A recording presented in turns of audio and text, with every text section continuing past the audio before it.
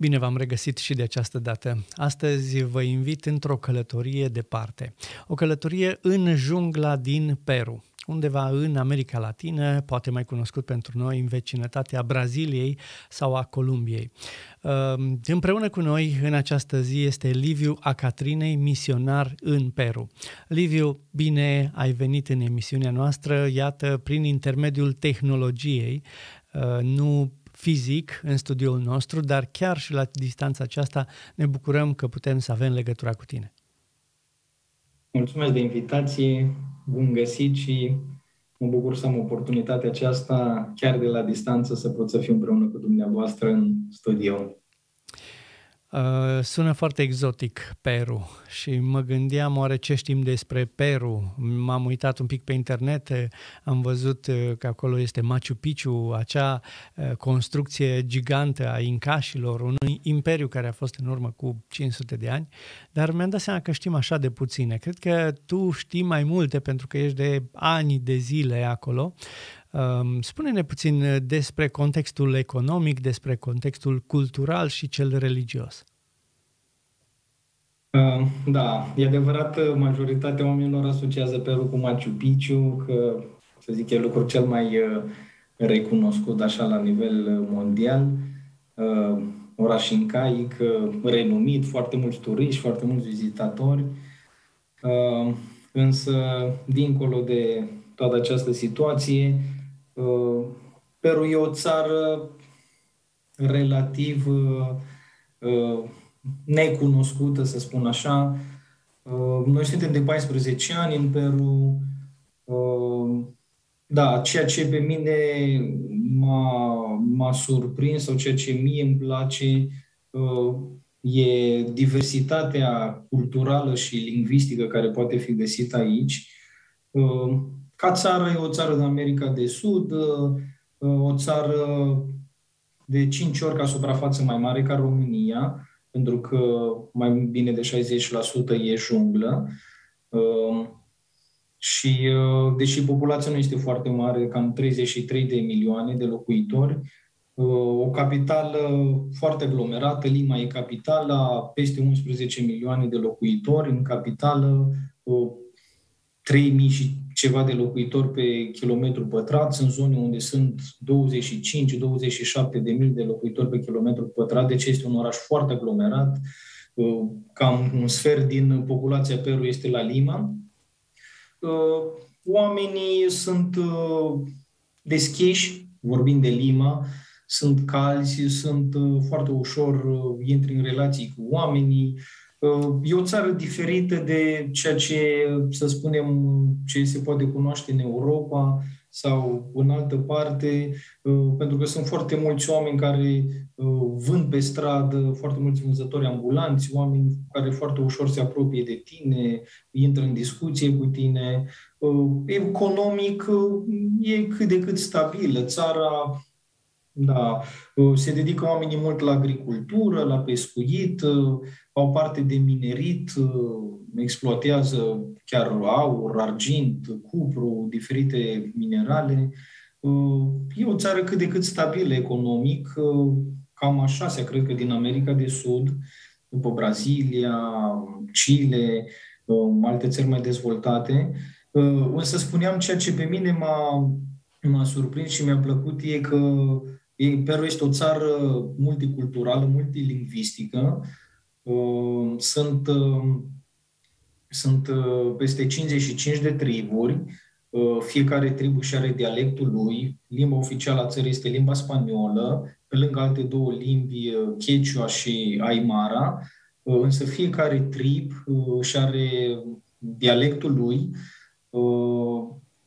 și oriunde te-ai duce, oriunde te-ai deplasa, întâlnești oameni noi, uh, culturi noi, uh, asculți limbi noi, uh, iarăși o diversitate de faună, de, de floră. Peru e împărțită, să spun așa, în trei fâșii sau trei zone geografice. E zona de coastă, zona deșertică, la Oceanul Pacific, care și are populația ei, tradiția, obiceiurile ei, apoi este zona de munte, munți peste 6.000 de metri, aproape 7.000 de metri, um, cu o populație specifică, în general populația Quechua, care locuiește la zona de munte, iarăși credințe, cultură total diferită, și apoi este zona de junglă, uh, și aici, practic, uh, sunt, uh, e cea mai mare varietate culturală, lingvistică, pentru că majoritatea, majoritatea grupurilor etnice sunt în zona de junglă și, așa cum spuneam, fiecare cu limba lui, tradiție, porturi. Deci este o țară extraordinară din punctul acesta de vedere pentru cei uh, pasionați pentru cultură, pentru nou, pentru uh, lucruri uh, da, ne, neauzite până chiar inclusiv inclusiv peruanii, deci cei care locuiesc la oraș, Lima, în general, în capitală, prea puțin știu despre, de exemplu, despre triburile din junglă. Habar nu au că există triburi, habar nu au că există oameni care trăiesc într-o, într-o altă realitate. Da, deci e, e mult de descoperit și de vorbit despre Peru. Ai spus despre faptul că 60% din țară este junglă. Voi ați ales să mergeți în junglă și să lucrați acolo printre cei care trăiesc în junglă. Ce înseamnă junglă pentru uh, noi, cei care nu cunoaștem, uh, noi ne dăm seama, noi ne gândim că sunt doar niște păduri foarte încălcite. Uh, care este viața oamenilor care trăiesc în junglă? Da, e, e foarte adevărat uh, că jungla înseamnă o pădure verde tot timpul, o pădure deasă. Uh, cine are ocazia să, de exemplu, să meargă cu avionul deasupra junglei, nu vede decât verde și uh, niște, așa ca serpentine, sunt râuri care străbat jungla dintr-un capăt în altul.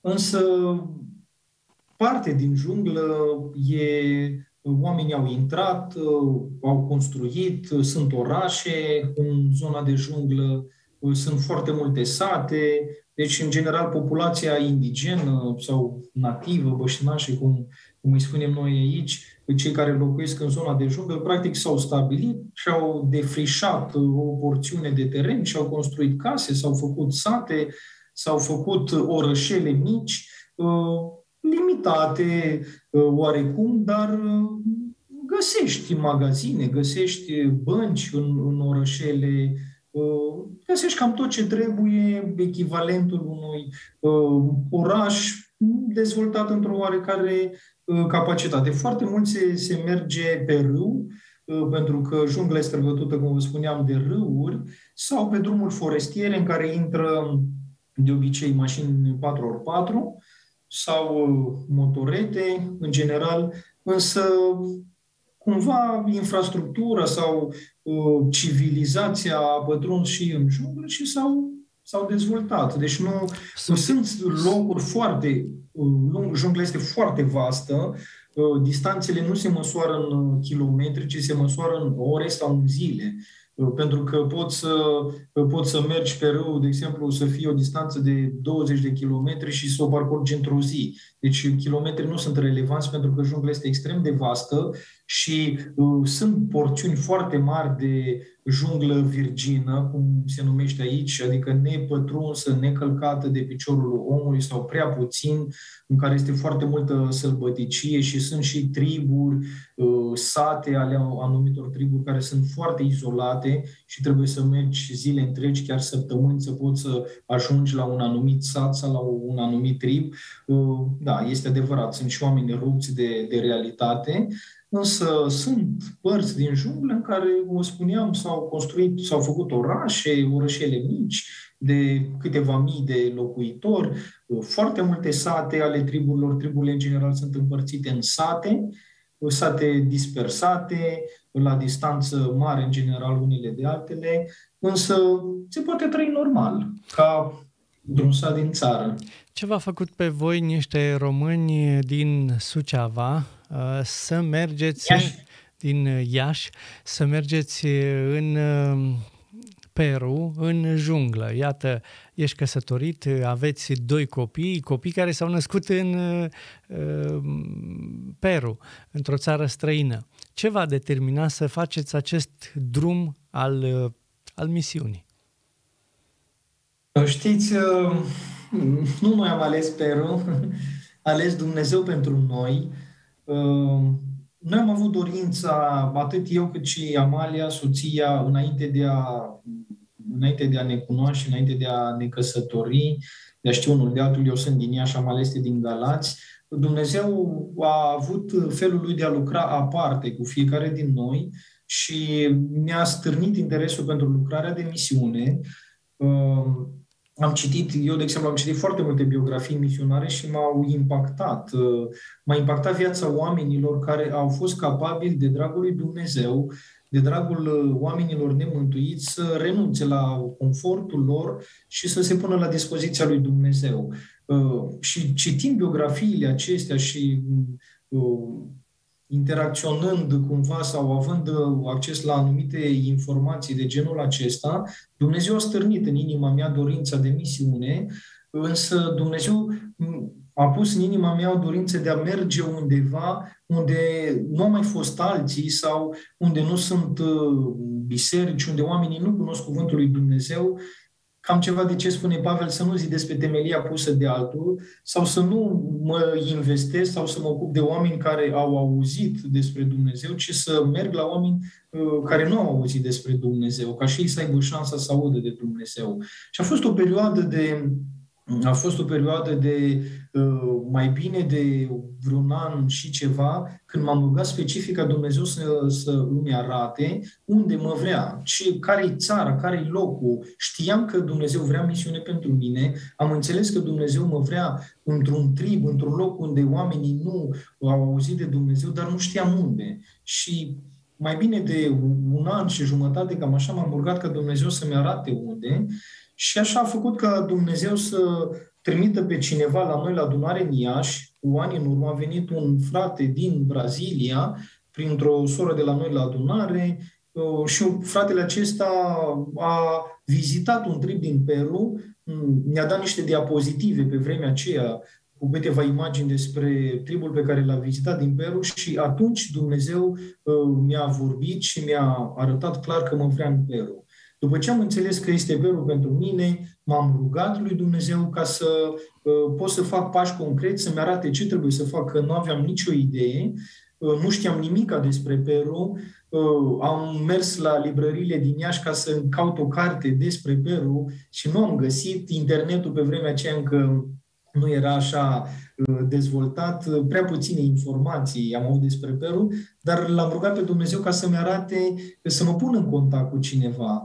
Uh, istoria mai lungă, dar așa Dumnezeu a îngăduit ca să găsim pe internet niște scrisori de ale prietenilor noștri, actualii noștri colegi, tot români, o familie de români, Marcus și Adina Dumitru, ei sunt din Târgoviște, uh, ajunși în Peru înaintea noastră cu câțiva ani și am găsit niște scrisori de, a, de ale Adinei când ea încă fusese plecată singură și așa am luat legătura cu ei, ne-am interesat, le-am scris, ne-am pus să ne povestească, le-am spus că noi avem chemare, uh, între timp, uh, între timp ne-am căsătorit, Amalia a avut aceeași chemare, Dumnezeu a vorbit și ei că e Peru, la aceeași întâlnire de care vă spuneam când a venit uh, fratele acesta din Brazilia, Dumnezeu a confirmat și ei că e Peru și așa am făcut primii pași și practic am ajuns în Peru pentru că Dumnezeu a ales pentru noi Peru. În ce constă lucrarea voastră din Peru în această vreme? Mă refer la faptul că din 2007 sunteți acolo, o perioadă în care ați lucrat diverse. În ce constă această lucrare? Da, noi am venit în Peru um, ca să lucrăm, așa cum spuneam, uh, expres într-un trib, Uh, ne-am alăturat prima dată echipei uh, colegilor noștri, Marcus și Adina, ei se rugau de mulți ani pentru o echipă, uh, ne-am alăturat lor, ei deja locuiau într-un sat din tribul Așeninca, deci ei lucrau în tribul Așeninca, noi ne-am alăturat lor și am fost împreună cu ei timp de patru ani de zile. Practic, pe lucrarea noastră principală este plantare de biserici, felul în care lucrăm noi în România lucrăm cu agenția Kairos, însă aici în Peru ne-am atașat unei misiuni mici, destul de mici, o misiune peruană care se numește Segadores. ceea ce în limba română ar însemna secerătorii, o misiune care s-a dedicat lucrării tribale, influențați de lucrarea de misiunea triburi noi, New Tribes, care are o lucrare dedicată, să spun o misiune dedicată lucrării tribale, influențați de ei și cumva orientați și pregătiți de ei prin colaborare cu ei, viziunea misiunii noastre sau felul în care lucrăm e ca să trimitem familii în, în triburi Uh, care să locuiască acolo, să învețe dialectul, obiceiurile, cultura, practic să fie parte din uh, uh, comunitatea respectivă, din tribul respectiv și apoi în felul acesta să înceapă să mm, transmită Evanghelia dar oamenii au nevoie de exemple. Culturile tribale, în general, sunt culturi orale și oamenii învață foarte mult prin imitație. Te văd pe tine și copii exemplul tău. Nu funcționează atât de mult cât să mergi, să-i înveți, să le spui ceva. Ei au nevoie să vadă, să te vadă pe tine. Și atunci, noi practic am trăit timp de patru ani de zile împreună cu Marcus și Adina, colegii noștri. Apoi drumurile noastre s-au separat, noi am venit în Lima pentru o perioadă de 2 ani de zile uh, și ne-am dedicat cumva uh, motivării la misiune a bisericilor din Lima. Am călătorit, am mers în diferite biserici, am asistat la conferințe misionare ca să motivăm și să promovăm lucrarea tribală în special. Uh, așa cum spuneam la început, oamenii nu cunosc despre junglă, despre uh, triburile, despre viața și realitatea din junglă. Și atunci, în contextul acesta, doi ani de zile am fost la Lima ca apoi din anul 2014 noi să ne reorientăm, să mergem într-o altă zonă de junglă, mai în interior și acum la ora actuală lucrăm cu tribul Așaninca. Înainte am lucrat cu tribul Așeninca, acum lucrăm cu tribul Așaninca, uh, tot pe aceeași uh, lucrare de plantare de biserici, uh, am călătorit, tribul Așanica este tribul cel mai mare din Peru, însă are multe sate împărțite în diferite zone geografic. Uh, și noi uh, suntem într-o zonă uh, în care ne deplasăm fie pe râu, fie terestru, în diferite sate Așaninca, însă în ultimii ani am concentrat lucrarea și activitatea într-un sat Așaninca și ne ocupăm de o, de o adunărică mică, de vreo 30 de adulți și vreo 60 de copii. Ehm, și practic ehm, încercăm să formăm oameni acolo, lideri, care la rândul lor să meargă mai departe și să ducă Evanghelia la ai lor ehm, și să punem cumva pe picioare să facem să meargă biserica aceasta. Asta e așa în linii mari. În zona unde suntem noi acum, de câțiva ani de zile, practic lucrăm la formarea unei baze misionare Uh, misiunea de aici are un teren cumpărat, am construit, uh, vrem să facem o bază misionară în zona aceasta, să uh, formăm oameni, lideri, lucrători, așa ca... Deci cam la, cam la aceasta în linii mari ne dedicăm în zona aceasta unde suntem acum. Îmi spuneai înainte de misiune că avea patru ani copilul vostru când ați mers în junglă și mă întrebam... Patru luni. Patru luni, patru luni, uh, când ați mers în uh, junglă și mă întrebam uh, oare ce au învățat copiii în junglă? Poate chiar ne spui câteva skill-uri, câteva abilități pe care le-au învățat de la ceilalți copii. Spuneai că sunt 60 de copii la biserică, acolo unde slujiți chiar acum. Poate e interesant pentru noi să, să gustăm un pic din viața unui trib. Um, da, copiii, copiii din uh, junglă, um, în general, uh, cam sunt uh, obligați sau forțați de împrejurări să se descurce singuri, în sensul că părinților le place foarte mult să bea, fac petreceri și stau două, trei zile și beau și beau continuu și nu pleacă până, până nu de în casa unde se dă petrecerea, de exemplu, până nu se termină băutura și de cele mai multe ori copiii rămân singuri acasă și nu au nimic de mâncare. Copiii din junglă sunt toată ziua sunt în râu, deci dacă sunt aproape de râu, satul este pe marginea râului, toată ziua sunt în râu, în noată, le place să meargă la pescuit, foarte mult le place cu praștia să, să vâneze păsări. Deci cumva sunt nevoiți să, să își ducă viața și existența în lipsa ajutorului părinților sau datorită responsabilității părinților. Pentru noi a fost interesant că atunci când am mers cu Matias, cu băiețelul nostru, prima dată, îmi spuneam, avea patru, patru luni, toți au fost foarte, întregul sat s-au adunat în jurul lui să-l vadă, să-l atingă, să-l ia în brațe. Era singurul copil alb pe care l-au văzut, nu mai văzuseră până atunci. Chiar una din femei spunea, Mali, să-mi faci mie un copil așa și să, uh, să-mi dai și mie că vreau și eu să am un copil. A fost, a fost o atracție pentru, pentru toți. Toți vreau să-l plimbe cu căruțul. Aveam un căruț, ieșeam cu el afară și toți copiii veneau ca să-l plimbe cu căruțul și să, să stea în jurul lui. Um, copiii noștri au, au crescut printre, printre cei din junglă.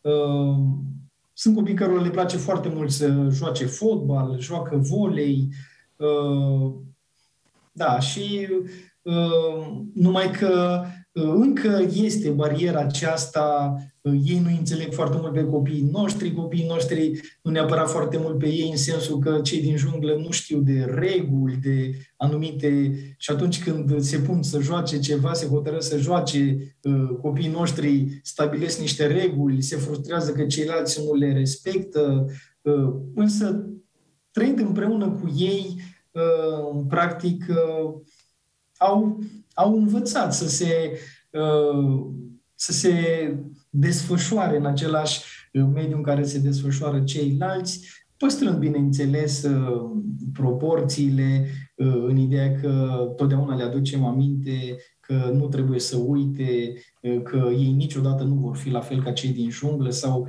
identificarea cu cei din junglă trebuie să aibă totuși oarecare limită, pentru că noi nu suntem doar în junglă, ieșim și apoi și la oraș și vă dați seama dacă ei s-ar porta la oraș, la fel ca cei din junglă, atunci e dezastru. Și am învățat așa, stând mai mult cu copiii împreună, cumva să se simtă bine în mediul lor, Uh, copiii sunt curajoși, în general, văd anumite insecte, anumite uh, animăluțe, știu cum să procedeze, cum să se raporteze. Da, e o lume interesantă. Dacă ne întoarcem la misiune, hai să vorbim despre experiențe de misiune. Felul în care ați văzut că Dumnezeu a lucrat în acești ani în care ați trăit, ați locuit, ați slujit în Peru. Oh, sunt uh, multe experiențe de diverse feluri, nici, nici n-aș ști exact ce anume, eu știu, aș, aș putea spune, aș putea împărtăși. Uh, ne, ne doare foarte mult uh, să vedem că oamenii sunt, uh, sunt practic sub stăpânirea și sub autoritatea celui rău. Uh, spun lucrul acesta, de exemplu, Peru este o țară catolică, în general. Însă triburile au o credință animistă, adică o credință în spirite. Nu se identifică cu credința catolică, deși de-a lungul anilor sunt anumite influențe.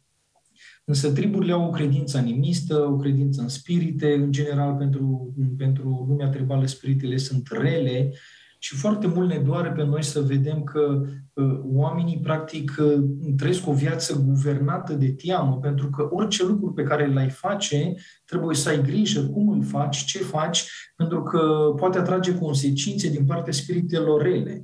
De exemplu, uh, dacă mergi la pescuit, uh, trebuie să faci un oarecare ritual ca, să, ca spiritul, ca duhul râului să poată să-ți permită să pescuiești și să nu, uh, și să nu vină cu blesteme asupra ta. Sau dacă mergi la vânătoare, la fel. Uh, ai un anumit ritual în care trebuie să pregătești pușca pentru vânătoare sau arcul, trebuie să respecti anumite norme, pentru că dacă nu, spiritul pădurii nu-ți dă voie să vânezi sau dacă ai vânat fără să ții cont de uh, ritualul respectiv sau de cerințele spiritului respectiv, uh, totul se întoarce asupra ta. Poți muri sau te poți îmbolnăvi. Mm. Și atunci toată viața lor, practic, este guvernată de teamă și foarte mult ne rugăm lui Dumnezeu ca Dumnezeu să rupă aceste bariere, aceste legături și să vadă oamenii că uh, Dumnezeu este uh, mai mare decât duhurile rele și că ei, dacă sunt ai lui Dumnezeu, nu au de ce să se teamă. Uh, practic, trebuie să lucrăm mult, să dărâmăm toate credințele acestea ale lor, toate practicile și obiceiurile lor și foarte mult rugăciunea noastră merge în această direcție.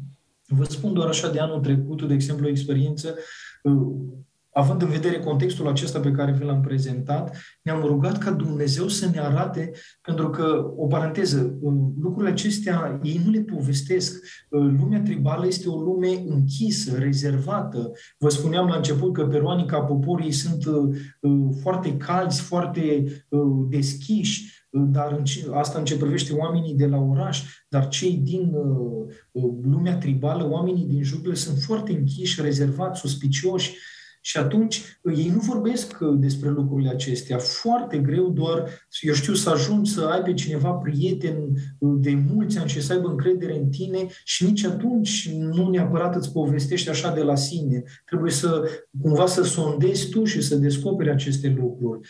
Și am început ca să ne rugăm lui Dumnezeu. Am văzut că cumva în anumit punct batem pasul pe loc și oamenii parcă deși înțeleg adevărul, deși cel puțin cei cu care lucrăm de aproape în satul acesta de care vă spuneam, bisericuța aceasta de care ne ocupăm de câțiva ani, Uh, uh, nu vedem foarte multă creștere spirituală, oamenii înțeleg adevărul, însă fluctuează foarte mult. Uh, când vin la adunare, când nu vin la adunare, li se întâmplă ceva, o problemă, sunt descurajați și nu mai vin la adunare. Sau se întâmplă nu știu ce o problemă, imediat apelează la vraci ca să, să le rezolve problema. Și atunci, văzând contextul acesta, l-am rugat pe Dumnezeu ca să scoată Dumnezeu la lumină păcatele lor sau lucrurile care îi leagă ca să știm cum să luptăm împotriva lor. Și am, am avut anul trecut mai multe experiențe de acestea când câteva familii de la de adunarea de care ne ocupăm au fost implicate în ceea ce numesc acțiunile acestea de vrăjitorie, dacă o persoană se îmbolnăvește din diferite motive și în perioada de boală visează pe cineva, Uh, înseamnă că persoana pe care a visat-o, aceea este persoana responsabilă de uh, boala lui. Și atunci eu pun pe seama faptului că i-a făcut vrăj. Asta este expresia pe care o folosesc că i-a făcut vrăj și atunci ei practic trebuie să apeleze la vraci. Vraciul este văzut uh, ca un doctor, deci persoană pozitivă și vraciul trebuie prin ritualurile lui să descopere dacă într-adevăr cel care este acuzat de vrăjitorie este vinovat sau nu. Și a fost o situație tare grea, pentru că a trebuit ca să intervenim și să cumva să sondăm și să descoperim ce s-a întâmplat, pentru că cineva din adunare s-a îmbolnăvit, a fost aproape de moarte a trebuit să, să ne rugăm și să stăm între ei mai de aproape și cumva să, uh, să le vorbim despre aspectul acesta și să învățăm cum funcționează uh, lumea spirituală. Și ne povestea unul din frați, uh, de exemplu, că a venit o femeie dintr-un alt sat, s-a stabilit în sat acolo la ei și uh, au început să se îmbolnăvească mai multe persoane. Femeia respectivă era recunoscută ca vrăjitoare, spune că a omorât mai multe persoane și la un moment dat s-a îmbolnăvit cineva din sat și au acuzat-o pe, pe femeia aceasta. Uh, a trebuit ca să fie pedepsită. Prima dată au pedepsit-o femeile, după aia au pedepsit-o bărbații, au bătut-o, au lovit-o, uh, au une, s-au dus la rău ca să o unece, ca să mărturisească unde a ascuns obiectele pe care le-a folosit la vrăjile pe care le-a făcut și ce anume a făcut ce a făcut. Și la un moment dat femeia aceasta îi spunea fratelui care îmi povestea aceste lucruri, pentru că și el a fost, să zic, parte din, din cei care s-au au judecat acest caz și a vorbit cu ea, îi spunea, uh, fratele respectiv a întrebat-o, dar cine îți vorbește, cine te pune să faci aceste lucruri? Și a spune, uh, sunt uh, ființe care mi-apar noaptea, în somn, în vis, și îmi spun, mă amenință și îmi spun, uite, dacă nu faci rău cu tărei persoane, să știi că ori te vei îmbolnăvi tu, ori se va îmbolnăvi cineva din familie, ori îți vom omorâ copiii. Deci este amenințat în felul acesta. Și atunci ea spune, nu sunt eu cea care face lucrurile acestea, ci sunt duhurile acestea rele care mă pun să fac și care îi apar cumva în formă de persoană, dar de, de dimensiuni mai mici. Și atunci, după ce, de exemplu, a fost pedepsită și a fost bătută de, de bărbați ca să mărturisească, ea le-a spus la un moment dat, pe mine puteți să mă omorâți, dar lor nu le puteți face nimic, făcând referire la, la duhurile rele care o pun să facă ceea ce face. Și uh, în, în, în situația aceasta uh, ne-am dat seama, noi l-am rugat pe Dumnezeu ca Dumnezeu să scoată la lumină care sunt lucrurile cumva care țin blocați pe oameni, de nu, nu se predau în întregime lui Dumnezeu, deci nu este creștere spirituală în viața lor uh, și Dumnezeu ne-a scos, ne-a scos la lumină cazuri, cazuri de acestea de care vă povesteam, ca să ne putem ruga concret pentru ele și să putem să cerem intervenția lui Dumnezeu, practic. Și am văzut aici bunătatea lui Dumnezeu. A fost o altă perioadă, să zic, o altă experiență când l-am rugat pe Dumnezeu ca să ne scoată înainte oamenii care sunt interesați de Evanghelie. Cumva să nu ne pierdem timpul cu, o, știți cum spune cuvântul, să nu arunci mărgăritarele în gura porcilor. Și atunci am zis, cumva, Doamne, scoate-ne tu oameni care într-adevăr sunt interesați și pe care ai în, în planul tău ca să înțeleagă, să audă Evanghelia. Și s-a întâmplat odată că eram la râu, uh, vorbeam cu șeful unui sat pe care urma ca să-l vizităm și coordonam vizita, vizita noastră acolo la ei, că trebuia să vină să ne ia cu barca. Uh, și în timp ce vorbeam cu el, apare o altă barcă cu un tânăr care s-a accidentat la vânătoare. Uh, practic, glonțul i-a trecut prin mână și a despicat palma mâinii și el mi-a spus, uite, ăsta este nepotul meu, îmi spune șeful satului respectiv. Zice, n-ai putea ca să, n-ai putea ca să îl ajuți? Mergea spre, spre spital. Și atunci am mers la spital și ne-am ocupat de băiatul acesta timp de vreo trei săptămâni. Ne-am rugat, am mers, am citit din Biblie, am vorbit cu el cuvântul lui Dumnezeu. A venit familia. În general, când uh, cineva din junglă călătorește, vine și mama și tata și uh, cățelul și găinile. Deci călătoresc așa în grup foarte mare și băiatul acesta a fost adus la spital de frate de-a lui cineva din familie și apoi au venit părinții, s-au anunțat prin radio, au venit mai mulți din familie de la el pentru că trebuia să-i doneze sânge, avea nevoie de, de sânge, dar uh, și cumva să decidă pentru că doctorii de acolo, fiind un dispensar mic, au vrut să-l trimită într-un alt oraș de la un spital mai mare și trebuia să decidă familia în cazul băiatului acestuia, deși era un băiat de vreo 26 de ani. Și atunci am avut ocazia și cu familia lui să zi de zi să împărtășim cuvântul. Uh, în fine, scurtând povestea, băiatul acesta s-a, s-a vindecat, s-a recuperat, uh, deși a pierdut, uh, a pierdut un deget, dar s-a recuperat.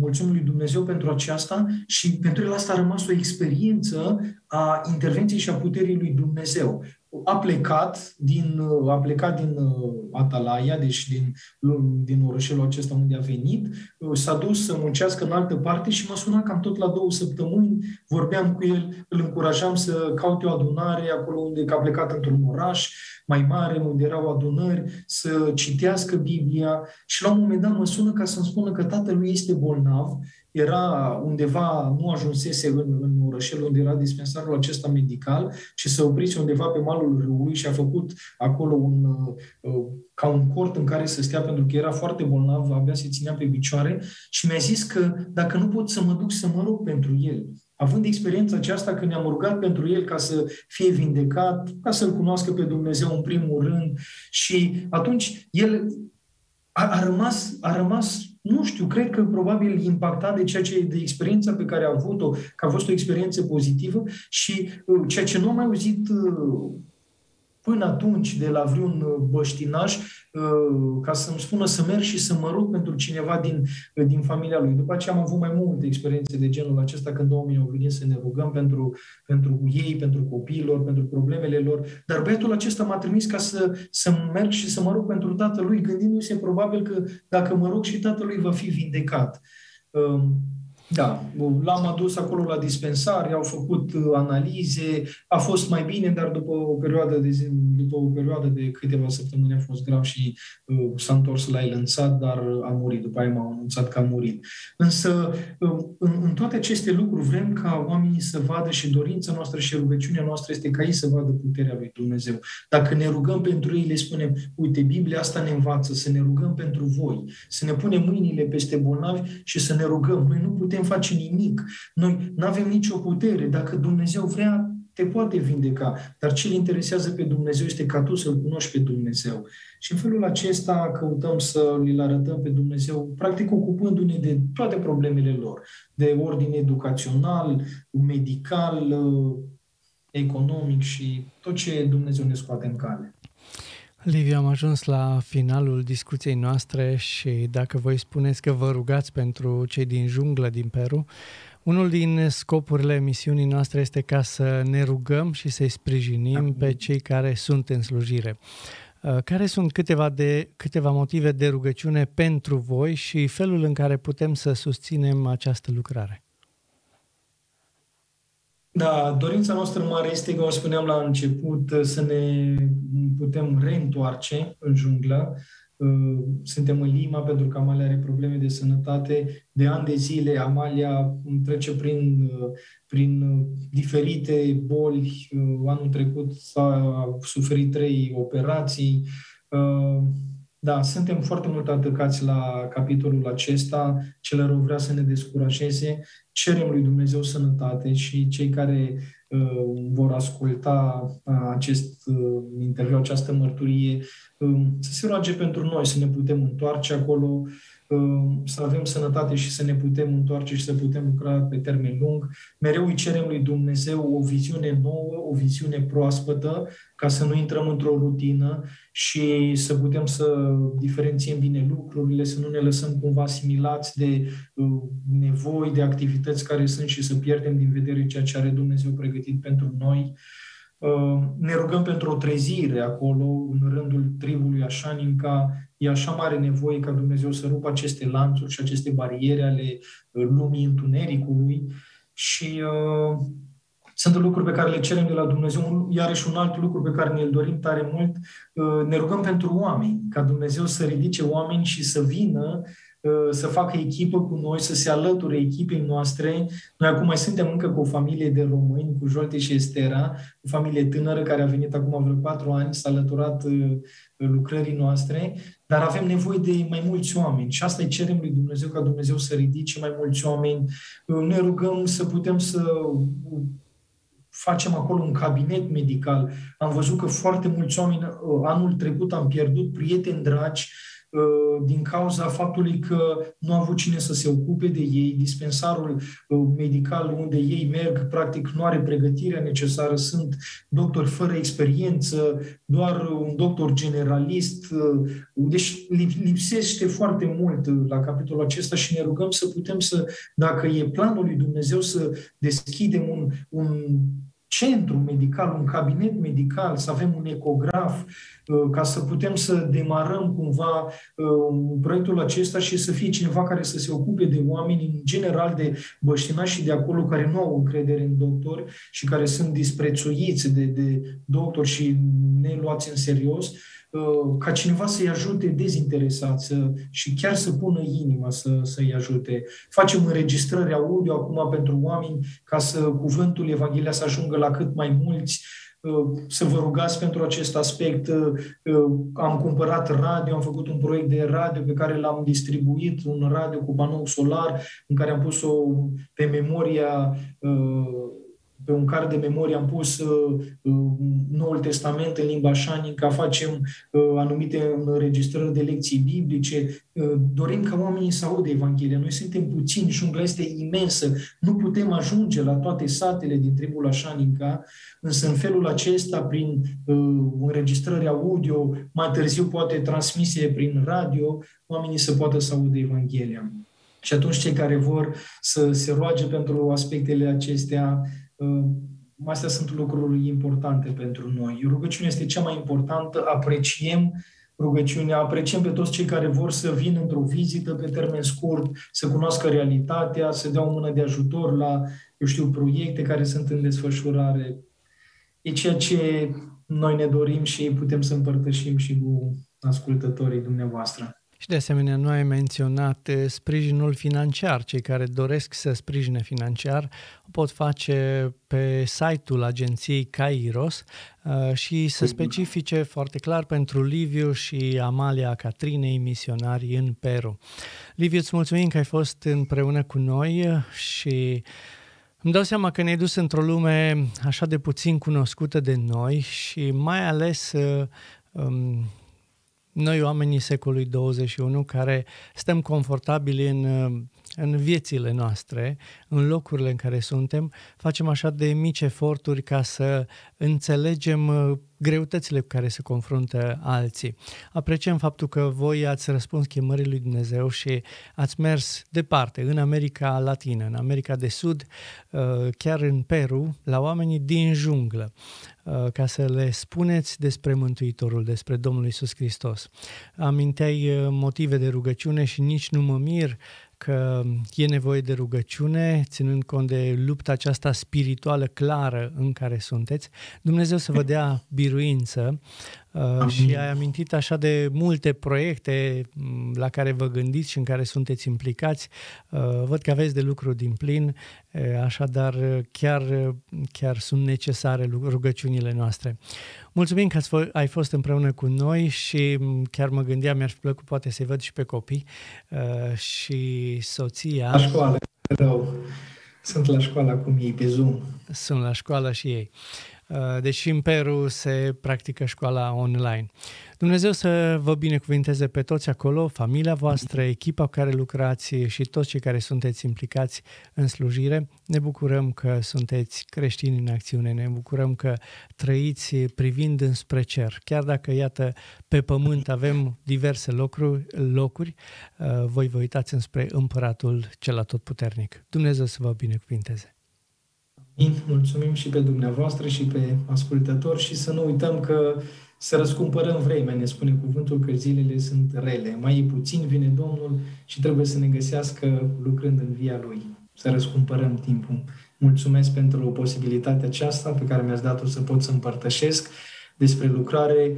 Nu aș vrea ca cineva să se gândească la noi, la ce facem noi sau la sacrificiul nostru, ci să privească la nevoia de a aduce mântuirea, de a aduce Evanghelia la oameni și că Dumnezeu îi iubește pe toți oamenii și vrea ca toți să fie mântuiți și să privim la Dumnezeul nostru care e mare și care are toată puterea în cer și pe pământ și poate să salveze, dar vrea să se folosească de noi. Mulțumesc frumos! Amin. Dumnezeu să vă binecuvinteze.